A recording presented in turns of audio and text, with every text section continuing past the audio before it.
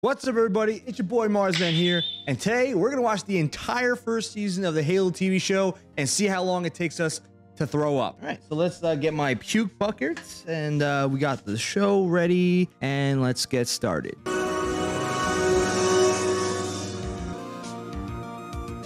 Oh, oh God, please, someone, please, someone save us from the.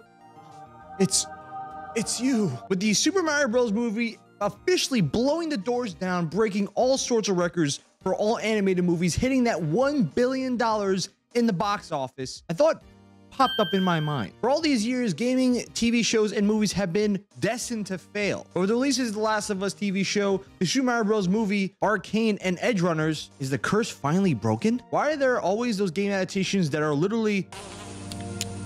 That is one big pile of shit while others are just straight up perfection. And what is the secret sauce that allows for these shows and movies to not just straight up suck ass? Let's jump into it. What's up, guys? I am proud to announce that we are now officially affiliated with Rogue Energy. They sent over two shakers as well as many different flavor combinations to try. And I gotta say, I really love them. I've been a fan of the many different types of combinations of flavoring that you can get. My favorites so far have been blood orange and dragon fruit mango. They're used for both energy and hydration, so if you need a boost when playing video games, you're working out, or just doing content creation, this is just for you. If you use the link below and using the code Marzzman with two Z's, you get 10% off your order. Marzzman Gaming is powered by Rogue Energy. Before we jump into this crap-filled rabbit hole, we have to analyze the history of the game adaptation. One of the biggest growing trends globally is the popularity of gaming over the past few decades. So it only makes sense that since the beginning that there would be some game directors that would try to get their hands on these gaming IPs and bring it into cinema. The first ever game adaptation was back in 1989 with the Super Mario Brothers Super Show by, you guessed it, Lou Albano as Mario. And since then, game adaptations have been utter crap with either bad characters, bad narratives, or a gross ass atmosphere in which they're all going to be written into. With all these shows and films literally flopping in every way, there was actually seemed to be a sort of curse that had invested into these productions, stopping them from being actually good. And pretty much the stats backed up that entire statement. Up until this point, there have only been three films entirely that have reached that 50 and over on IMDb, Rotten Tomatoes, and Metacritic. And those are Mortal Kombat 1995, Prince of Persia Sands of Time, and Detective Pikachu. And in a previous video, I actually had analyzed whether or not that these game adaptations are destined to fail. I always felt that game adaptations can save themselves if they can land on two of the three major categories of all films and TV shows. Good writing for its characters to keep it consistent to the games, a narrative that follows the IP closely or at least in some way, or creating an atmosphere that can mirror the games that at least can help the fans recognize it and enjoy it along the way. So it's up to me to break down whether this new wave of media has actually broken the curse and where did some movies and films succeed while others just crap themselves. Let's first talk about one of the most important aspects of these films and movies, and that is the writing of the characters. Are they written well? Are they similar to the games that we know and love? The first battle of this debate is going to be between Ellie and Joel versus the Halo show's Master Chief, or should I call him Master Cheeks. The biggest problem I see with modern day adaptations is that they always feel like they need to change everything from the source material. I don't mind the idea that directors want to show us their artistic vision, but the issue I mainly have is that these directors feel like they need to change or adjust everything to meet the current audience and expand more people that want to see this. But the issue I have is mainly that most of these directors that take over these these productions generally have no idea what is the main reason why these characters were written the way that they originally were. So all of a sudden that these characters are now basically changed or altered just over the top to the level that we are just unable to recognize. And once you drift away from what makes these characters unique and different, then all of a sudden you have some sort of a Frankenstein's monster of the character that no one gives a damn about. Now, when The Last of Us was officially announced as going to be an upcoming show for HBO, a lot of people were nervous about what was going to happen to the dynamic duo that we knew and loved. Most people knew Pedro Pascal from The Mandalorian, and they felt as if he was going to do a great job. But not as many people knew Bella Ramsey, and the only thing they saw her from was from Game of Thrones, and they didn't really know whether or not she would be good as Ellie. However, when we finally got to see the show itself, these characters were identical to those from the games, and honestly, it gave everyone a feeling of just calmness and happiness. Joel was brutal, untrusting, and cared about the people he loved and will do anything to protect them. Ellie's that funny, carefree kid that has been through a lot of things, but always finds a way to just brighten the mood. Both Pedro and Bella killed it in their roles as Joel and Ellie, and everybody is just ecstatic to see what's going to happen next with the show. Even if the story wasn't exactly the same, the fact that these characters were as close to the lore as possible makes it feel as if any slight adaptations to that weren't really that big of a deal. However, if we look at the opposite side of the spectrum with the Halo TV show, they are the epitome of breaking a character to their core and making them the most unlikable person in the entire show. In the games, the Master Chief is a very much emotionless character that makes all of his feelings known by his actions and his whole goal is to stick to the mission and protect humanity at all costs. While from the TV show's perspective, we get a character that is showing his emotions constantly, feeling like he's always complaining about something, almost like the level of being a Karen that's about to call Catherine Halsey's manager, where at every single turn, his emotions drive him and cloud his judgment. He gives no damn about humanity or his squad and is caring more about visions and some random chick that he falls in love with. Like, I didn't know it was possible to have the main character of a TV show be the most unlikable character of the entire production. You think this is funny? In a cosmic sort of way, yes. Well, Mr. Funny Man, is this how you get your sick kicks? What? It's just an ordinary crabby. Oh my goodness!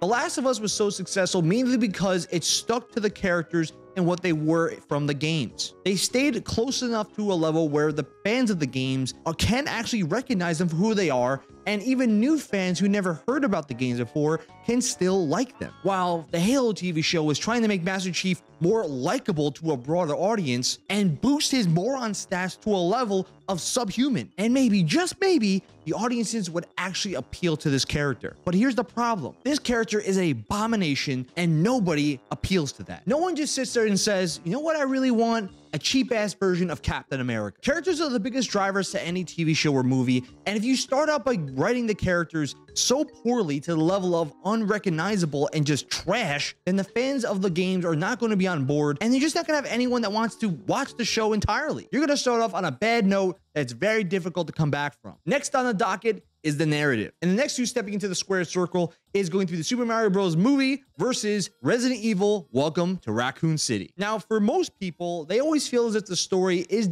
definitely the biggest driver to whether or not a show or movie will be successful because it has to have the ability to keep the viewer's attention for the long haul. Most examples from game adaptations have always proven to change or alter their stories because sometimes they can't reach the level of what the games were able to do. However, more recently, a lot of game adaptations have done the unthinkable. They've changed entire stories to be more fitting the current era. Usually when you hear this, it's the equivalent of getting super kicked right in the nuts. Like clockwork, every single film or show that follows this method usually becomes a laughing stock of their entire industry. Resident Evil Welcome to Raccoon City did this pretty badly with this beloved franchise and most fans feel as if they can never recover from this. Now, at the very beginning, when they first announced a new film that would actually mirror the games as close as possible, I mean, after getting roughly five movies that had the Resident Evil series focus on a made up character that had superpowers and that should have been in the Matrix, I think any semblance of returning back to the lore would have made fans happy. So you would think that no one in their right minds would actually make these bold statements and then turn around and then lie to all those fans and make something that completely sucks ass, right? Wrong!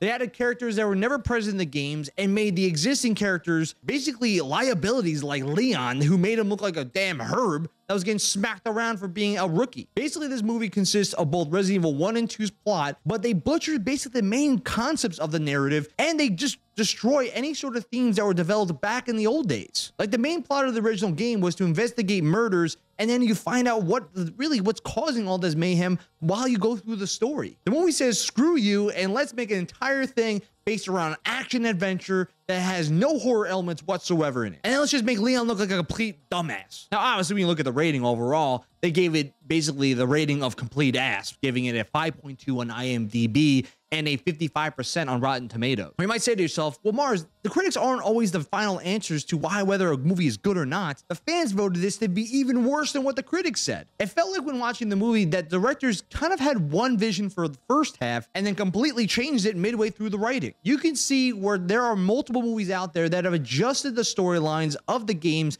enough where it can be different but still hold the central core of what they meant to do. And you can see this evidently with the Super Mario Brothers movie. Now, it's clear as day that this film has been a massive success overall, breaking that $1 billion in the box office. They are also a very much of an enigma. Critics had given it a very low score on its opening weekend. However, the fan vote is in the 90s. And if you watch the film, you can tell that the writers were trying to stay consistent to the games as much as possible, adding in a little bit of variation to make it seem a little bit different than the previous plots that we've seen. They followed the central concepts and themes of what the Super Mario Bros. stories always were about. The inclusion of all the different characters, a basic Mario story from point A to point B. And this led to massive success. So you look at the two different variations of this issue. You look at the Resident Evil example, and you'll see that basically they go into maximum overdrive. They try to cover two games with one film and they basically butcher both of them. Then you look at the other side, the Super Mario Bros. movie does a basic Mario Odyssey plot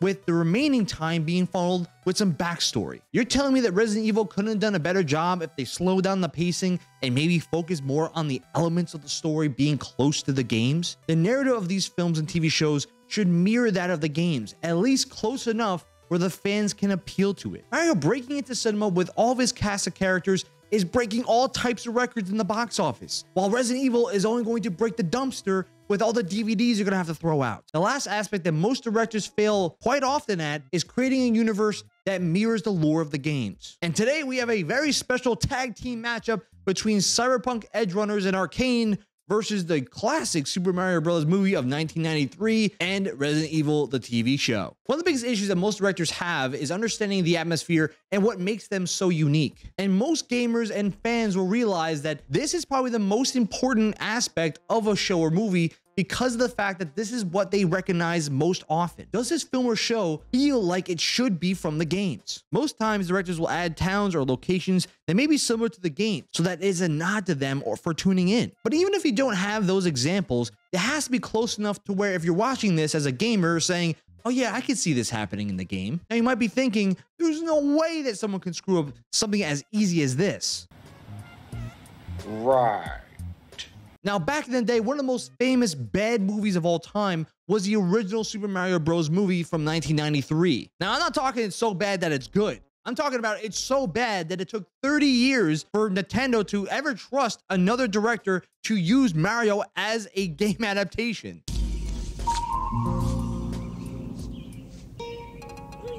What the fuck is this piece of shit? Because to be honest, they probably were washing the taste of crap out of their mouth. Now, what made people the most angry about this was that this entire movie was set into a new era of Bizarro Land where it had nothing to do with the story or the world of Mario. Like, I can't even fathom the conversation that the producers had with the heads of Nintendo over their movie pitch. Okay, so we got here a Mario and Luigi. Eh, What what are your names? Mario. Okay, what's your name? Luigi. Luigi Luigi? No, Luigi Mario. Oh, that's that sounds pretty stupid. And it starts out in Brooklyn. That's a that's a good start. That's a good start. And apparently a uh, a meteorite crashes here 65 million years ago, creating a separate dimension of a place called Dinohattan. I guess we're going the multiverse route with the president Koopa. And not even the goons that go after Mario or Luigi are even similar to that of the games. Speaking of crap sandwiches, the Resident Evil TV show literally broke all the fans of their entire franchise. The story here follows a world that is closer to Mad Max than what it actually ever was from the Resident Evil games. Now, Netflix basically set up where this show would cover the events after the games had ended, as well as go back into the time when the outbreak first happened. Roughly around 300 million people live in the entire world infested with zombies because of the corporation umbrella. Now, but this whole show smells and tastes like a week old diaper. The only thing that's that's similar to this entire atmosphere is that there is zombies and there's umbrella. The characters, plot, literally everything of the whole world is bland and just feels gross. There's really parts of the show that are about high school drama, the vegan lifestyle, and this. Right. I mostly just read Zootopia porn, so. You what? The, the show is literally the epitome of Netflix taking a dump on my face. Like, I don't think it's that difficult to come up with a world where a side story can be developed during. From the same network, Cyberpunk Edgerunners has shown how literally a game that was broken from launch found a way to take that universe and run with it to make a show super successful being ranked one of the best shows of the year. With Adam Smasher being the only character from the games present in this series. Anime brings so much excitement and intrigue to the storyline and just the world of Night City. And literally, my boy Giancarlo Esposito made an appearance as a major character too. Now, why does this show work so well? Night City, the themes, the entire universe of this series mirrors that of the games. And it kind of paints a picture where, at this time where all this crazy stuff is happening, somewhere in the city or even at a different time, other things from the games are also occurring. They even made it where there are legit locations from the games being remade into the anime series. Even the main plot has a lot of connections to the game. It's the concept of how being the main character, you make many small decisions in your life that can drastically change your entire outlook and what happened. That is the entire theme of the game, as well as Arcane, where each character is diverse and every champion from League of Legends really has their own backstories that make them unique. The whole world, the character design, it's handcrafted and painted and animated so damn well that it really connects you to the games and really gives off the aura that a lot of fans can appeal to. And the fact is, if you go and watch the series as a fan of League of Legends, you can really feel the emotion and connection that it has to the original lore. If a director feels as if they can't match the level of atmosphere or universe that really gets the fans to the table, then they're not going to ever get anybody from the original games to ever want to be a part of their new project. They have to realize that what got you to the dance in the first place is the fans. The fans of the games are the ones that are going to fill your seats. With the recent successes of movies and TV shows like The Last of Us and the Super Mario Bros. movie, it's clear that there is a room for success for game adaptation. Now, let's be clear, there are some garbage ass titles that have been dropped in the recent years, which proves to me that directors still can't understand the secret sauce that is needed to make a good game adaptation. And with the announcement of game IPs like God of War, Ghost of Tsushima, Fallout hitting the big screen, the fear is setting in that maybe this curse has not been lifted. The secret formula to break the curse is, to be honest, not that difficult. And I actually outlined this in a previous video talking about what you need to do to avoid these issues. If you follow two of the three major categories, then you'll be all set and clear for landing. If you write your characters as close to the games with similar traits, a narrative that is similar to the main plot of the franchise, or meet the standards of putting your story in the universe of the lore, then you will have a major success on your hands. The Last of Us TV show and the Super Mario Bros. movie followed my advice to a T and you can see the success that they have. And they set the momentum in the right direction. Now, I understand that there may still be some fears in the horizon over these new game IPs hitting cinema, but with the recent success and the global recognition of these stories abroad, I feel as if the curse has finally been lifted. And I truly believe that we're about to hit a new era of game adaptations for many years to come. Thank you everyone for watching. Do you think the game adaptation curse has been broken? Let me know what you think in the comments below. If you like this type of content, drop a thumbs up and consider subscribing so you can know when we drop our next video. Check out the link below for our affiliate link for Rogue Energy, and you can get a nice discount by using the code Marzzman with two Z's. Until next time, this is Marzzman signing off. Peace out, guys.